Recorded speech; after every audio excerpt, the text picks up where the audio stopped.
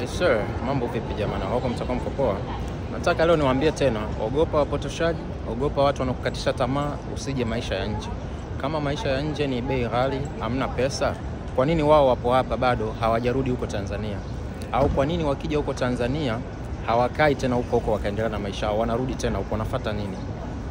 Wanakukatisha tamaa wewe, wakwambia kwamba ah, huko maisha ni expensive, unafanya kazi, pesa zote zinaenda kwenye kulipa bills, unalipa huku, unalipa kule, unalipa yeye. Kwa nini kang'ang'ania? Asingerudi nyumbani, mpaka sasa hivi ameng'ang'ania huko. Hmm? Maisha bwana, hapa ni kuchagua. Unachagua wewe mwenyewe maisha gani unaotaka kuishi. Ukitaka kuishi mjini kama hapa, mpaona hapa niko town, hii ni mjini, of course maisha yatakuwa ni expensive, maisha yatakuwa yapo juu, kwa sababu unataka kukaa mjini, kuna majengo haya mazuri ha? Lakini kuna video nimeiposti hapo TikTok before. Kwa nini ukiishi maisha ya kawaida unatengeneza labda milioni 12, 16 kwa mwezi eh? Ukiishi maisha ya kawaida una uwezo kulipa chumba chako tu milioni kama mbili katika milioni 14. Tuseme watengeneza milioni 14, japokuwa una uwezo kutengeneza zaidi ya hiyo. Tufanye watengeneza milioni 14. Chumba chako unalipa milioni mbili. Ha?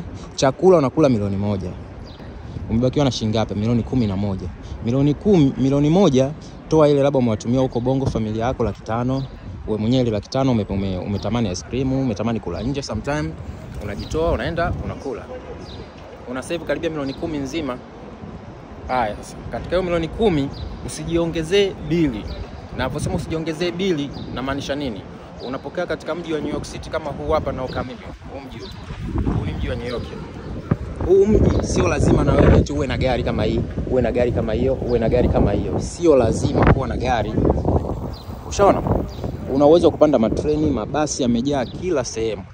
Maisha yako yakaenda vizuri. Kama mimi sina gari, natembelea baskeli na baskeli. Lakini Bongo nina magari, nina manyumba, na kila kitu ninachotaka.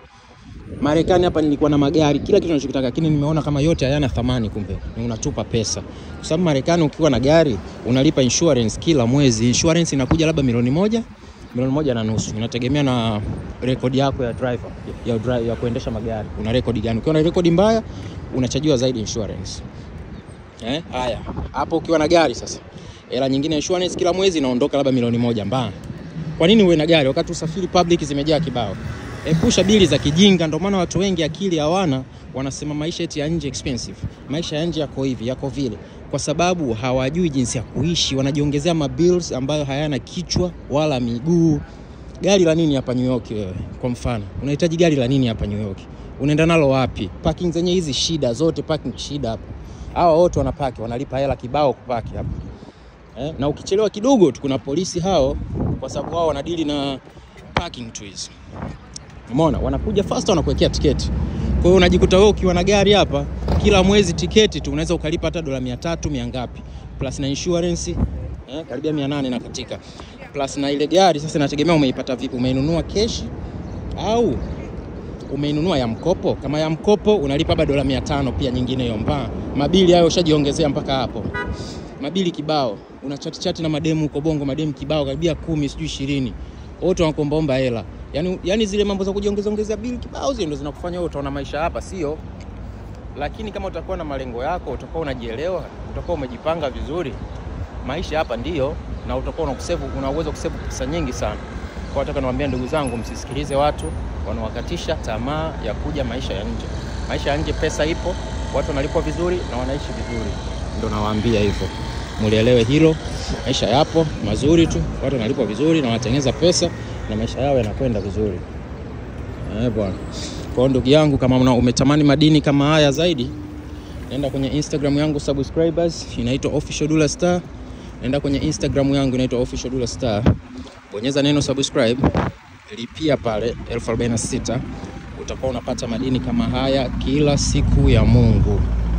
Natema madini pale, natema cheche. Na umeona huyo polisi kama huyu, huyu ni wale wa tiketi pake vibaya kakupiga tiketi ndugu yangu, kipaki gari ovyo tu kakupiga tiketi.